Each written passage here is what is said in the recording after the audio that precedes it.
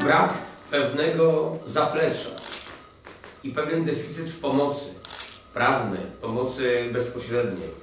E, być może nawet pewne manipulacje, którą, które mogą powsta powstawać w tym konkretnym przypadku, doprowadziły do tego, że skontaktował Pan Łukasz się ze mną.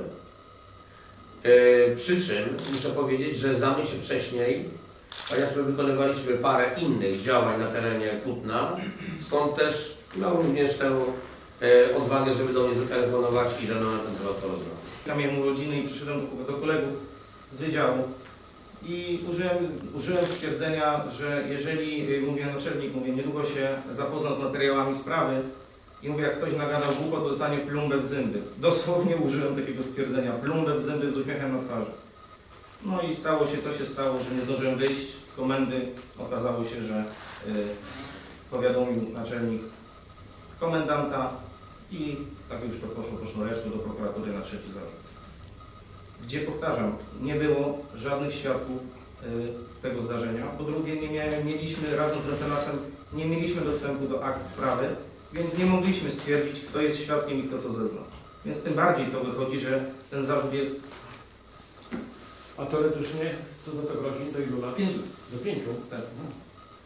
Nawet sądy stosują tymczasowy areszt. Kiedy mi wczoraj mm, e, Pan Łukasz powiedział, Panie Krzysztofie, no ale e, ile to będzie kosztowało? Ja mu odpowiedziałem, proszę mnie nie obrażać. Proszę mnie nie obrażać. Są pewne zasady. Jeżeli ja mogę w czymś pomóc, to na pewno to zrobię. I dzisiejsze spotkanie z Państwem również ma ten pierwszy krok pomocy dla Pana Łukasza, ponieważ y, komentarze i informacje różne, bez jakiejkolwiek koordynacji i ustalenia jednego konkretnego miejsca, punktu, który w jakikolwiek sposób może mieć prawidłowy przekaz, gdzie człowiek siedzi przed Wami i mówi o tym, co miało miejsce, co się zdarzyło, jak to wyglądało. Pamięta doskonale, ponieważ jest to jego najbardziej mm, dramatyczny e, dzień w jego życiu. Gdzieś mu się zarwał świat na głowę, zawalił mu się świat na głowę. Traci pracę, jeszcze gdyby był złośliwy prokurator, zastosować mógłby areszt.